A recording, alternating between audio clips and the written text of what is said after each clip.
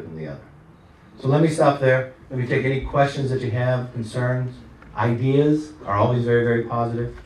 Um, I can answer anything you want to know. Yes. Well, Kevin. Oh, I'm sorry. What we're gonna do is we're gonna hand the mic out and we have a speaker here for you. Oh, okay.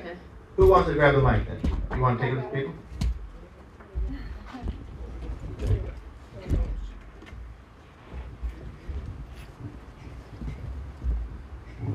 Thank you for coming, Richard Holcraft. Uh, I don't understand this. Uh, they contend that if we were to uh, not raise our debt limit, Mhm. that we would subject ourselves to default. Uh, The, the income tax line you've got there, the tax line, Mm-hmm. is clearly more than we pay in interest. Interest. Why would we be subject to default? Um, there's two opinions on this. There's one that says the Treasury, Geithner, has the ability to prioritize. Now, the way that government works their cash is day to day. So they got to have enough cash in to be able to go through. A debt limit is your credit card, okay? And we hit we hit our limit on that. So they want more to be able to control. We got 1.5 going forward. Geithner argues that he does not.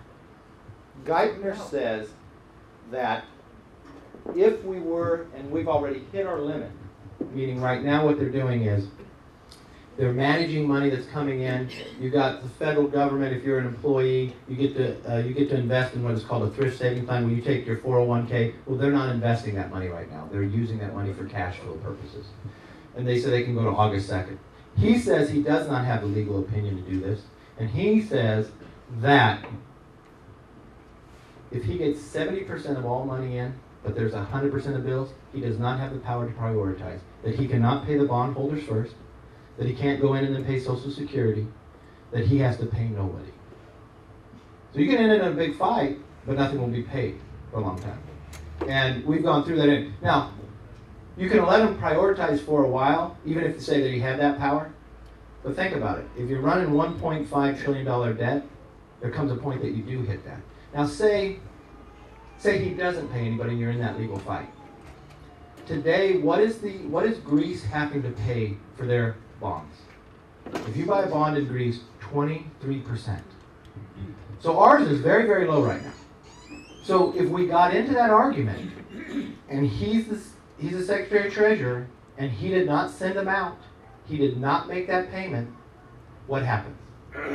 The market will not wait until it gets to the Supreme Court.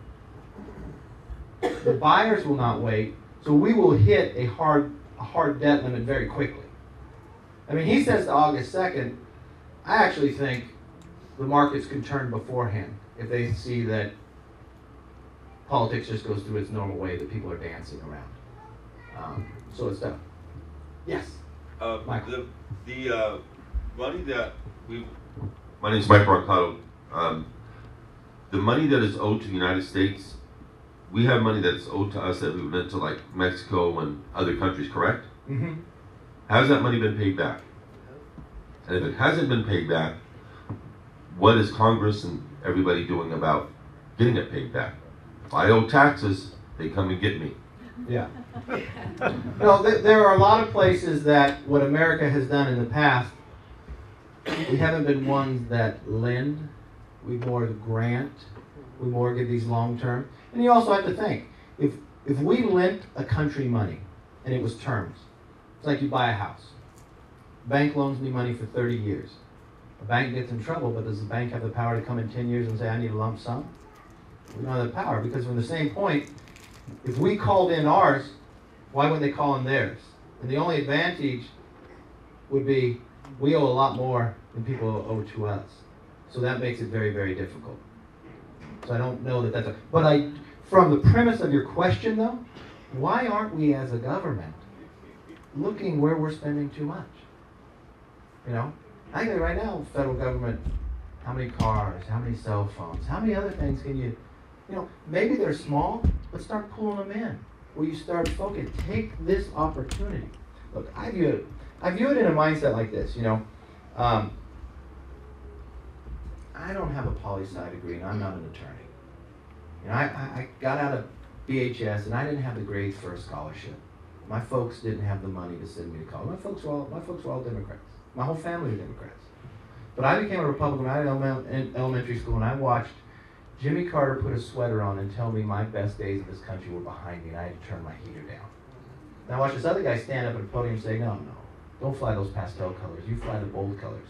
I don't know either person, but I said I'm going with that guy because he wanted to go to the shiny city on the hill, and I knew that was America. And I'm following him. I got out of high school. I went to Bakersfield College. I took a job as a seasonal firefighter for Kern County Fire Department. I'd go cut the weeds. I'd take my money. I'd go to LA's car auction. I'd buy cars and I'd bring them back and I'd sell them. Now, we had this initiative where we just passed the lottery. So on the second day the lottery started, I stopped at Food Town Market. I lived up on the east side of town. I bought a ticket, and I won the lottery on the second day. Hmm. All right. So I'm 19 years old. I just got five thousand dollars. Now I could do one or two things. I could have become Charlie Sheen and threw the biggest party on campus. I took my money. I pretty much invested it all in the stock market. I first gave my brother and sister a hundred bucks, and I took my whole family out to dinner. To the, it was the Red Lion at the time. It was the best. I, we'd never been there for dinner before, and we went there. I still remember everybody in my family ordered, ordered the steak Diane. You know. but I did okay. Then I went. I decided at the end of the semester I wasn't going to go back to school. So I went out to start my own business. I remember I went down to San Joaquin Bank, gave him my business plan. The guy just looked at me. Well, that's okay. So I took my money out of the market, refinanced the current car, and my uncle own, owned these uh, yogurt shops, McCarthy's Yogurts.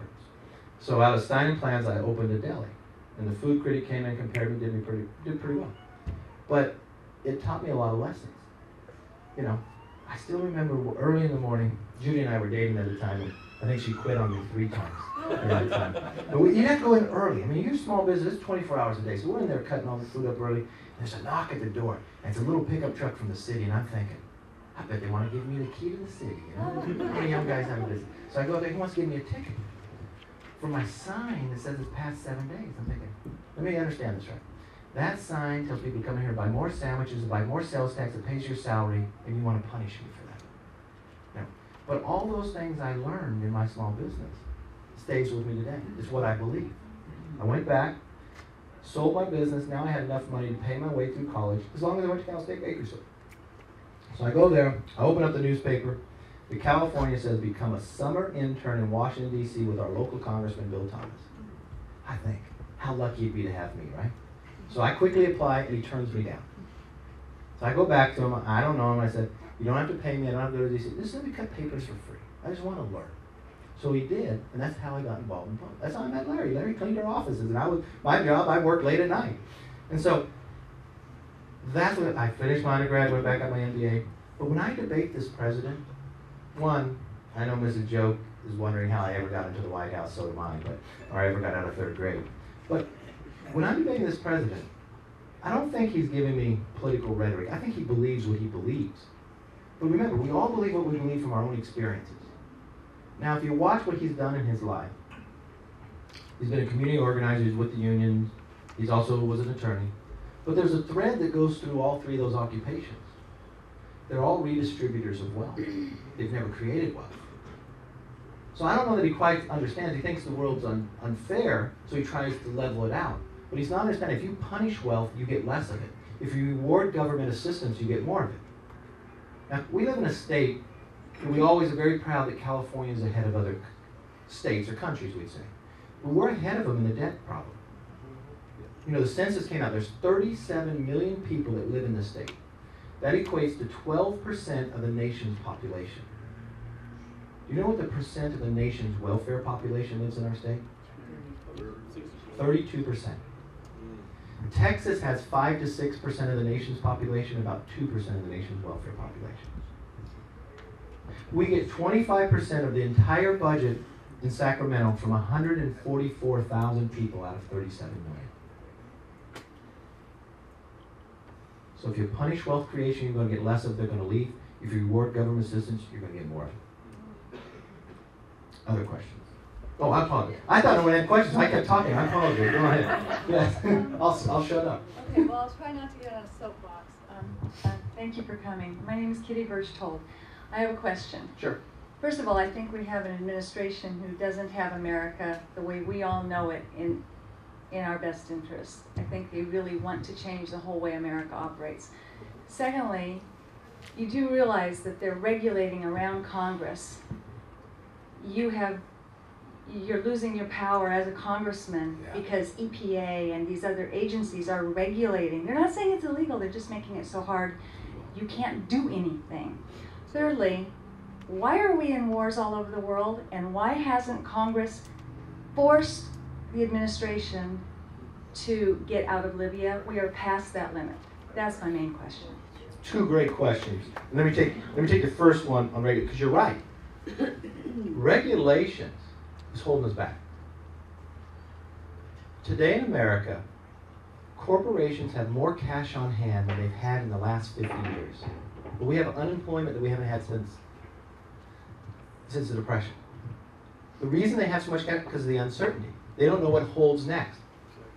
So we produce this little bill. It's not the end all, but it's the beginning. Because I've always come from the premise look, if I'm digging a hole, stop digging first, right? So we have this bill called the REINS Act. The REIN Act simply says this agencies enact a lot of this regulation.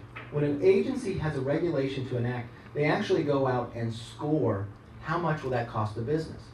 If it reaches the threshold of $100 million, the cost of the overall business in America, it's called a major ruling, okay? So when I first started, I put this in the pledge. When I first started looking at this, I wondered how many major rulings out there. There's more than hundred pending in the climate that we are. So Congress has a bill, and we're going to run it through. It's been going through the committee. Geoff Davis from Kentucky has it. That no agency can enact a major ruling without a vote of Congress, because it's exactly what you're saying. They're taking our power, but you should have a check and balance. If it's a worthy regulation, it'll get voted out. If it's not, and that will take away some uncertainty. Um, your second question about the wars, you're right. Libya. Who are we actually defending in Libya? Do you know? Who, who? We have no idea. Now, the War Powers Act gives the president the, the power to act. He has to notify us within 48 hours, and then he has to come back to Congress in 60 days. So he just sent a little note over to us.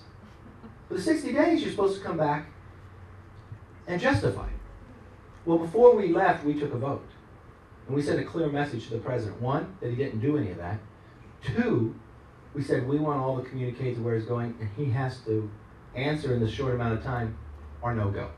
Now, Kucinich had another one, another one out that said get you out in two weeks. I voted against that only from this purpose. two weeks, we're there with NATO. Can you draw down that fast? I, I don't think that's a reasonable conversation. When I first went to Congress, the biggest vote I made came to Iraq. And we were already in Iraq, we were already in Afghanistan, they came in there, and it was not going well. No one would agree that it was going well at the time. And the president had a different. President Bush came before us, even changing the strategy in Iraq to the surge. We voted on that.